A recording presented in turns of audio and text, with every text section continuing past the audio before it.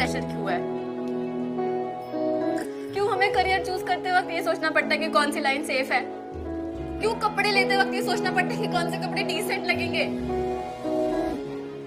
आपने मुझे खाना बनाना सिखाया, राजू को तो नहीं सिखाया। क्यों?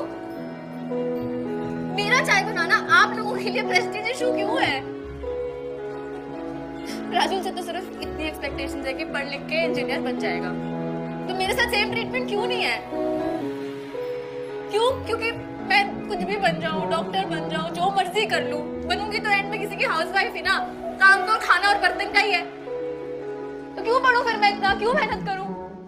जब किसी इंसान की जो है लाइफ में आती है तो समझदार आदमी जो है ना वो वहाँ से निकलने का रास्ता ढूंढ लेता है मेहनत के बलबूते पर उम्मीदों के बलबूते पर अपने पसीने के बलबूते के ऊपर। लेकिन जो कमज़ोर आदमी है ना वो उस, सिचुएशन का बहाना ढूंढ लेता है कि मेरा तो यार लाइट नहीं थी घर पे इसलिए मैंने होमवर्क नहीं करा। अरे तो दिन में रात को क्यों होमवर्क करने बैठा? तो शाम को करके तैयार रहता। तो बहाना कोई भी ढूंढ लेता है मेरे लाल लेकिन जो जिम्मेदार आदमी होता है जो बलवान आदमी होता है जो समझदार आदमी होता है वो उस मुसीबत से निपटने का रास्ता ढूंढ ही लेता